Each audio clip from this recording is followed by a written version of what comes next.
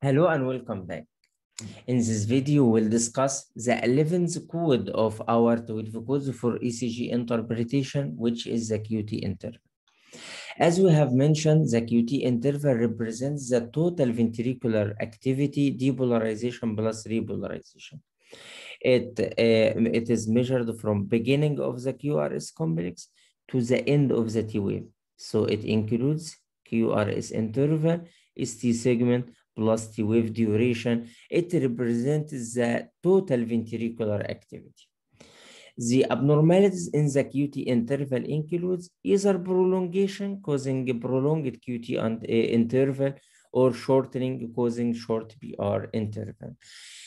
As QR's uh, interval is affected by the heart rate, so it is not measured simply by just calculating the duration of the QT interval, but we have to correct it for the heart rate so we can calculate what is called corrected QT interval or what we call QTC, corrected QT, which equals the QT interval over square root of RR interval.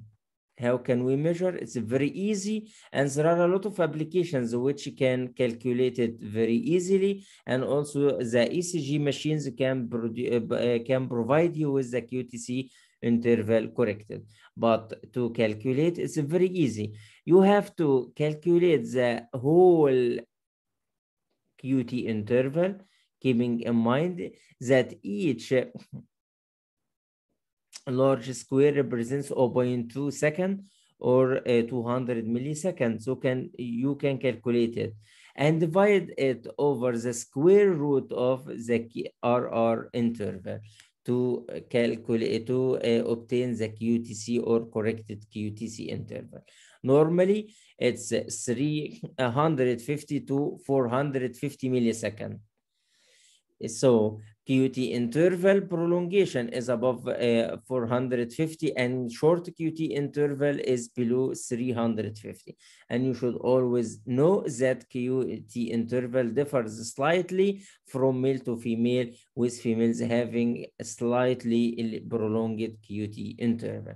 So long QT interval uh, diagnostic criteria is that it is above or more than 470 milliseconds in males and 480 milliseconds in female.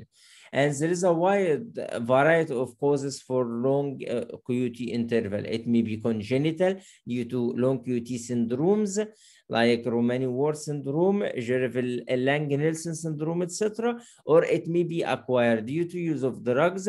The uh, commonly used drugs uh, in this COVID era, which is macrolides or hydroxychloroquine, class 3 and class 1 C antiarrhythmic drugs, tricyclic antidepressants, macrolides, antifungal medications, eh, HIV proteases, etc. Also, there is application and websites that can provide you with any medication you need to know if it is cause prolongation of QT interval or not.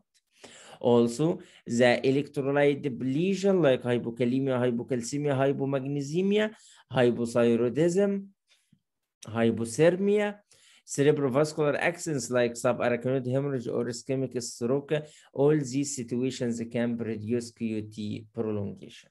If you look here, this is the normal QT interval, but here this is, this is the prolonged QT interval. This is prolonged one. The second pathology is this, the short QT interval, which is below 350 milliseconds, and the, it will occur in the opposite situation. In addition to uh, the congenital presence, what we call short QT syndromes, 1 to 6, due to pathologies in the potassium channel, uh, channelopathy.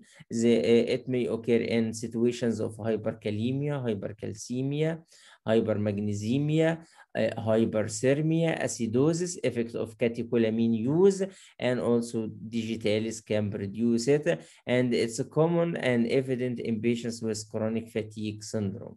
So in this ECG, it shows that this is the QT interval. And if you compare it with the RR interval, it's less than its half. So roughly it is shortened. So uh, uh, when you calculate the QTC, it will be less than 350 milliseconds.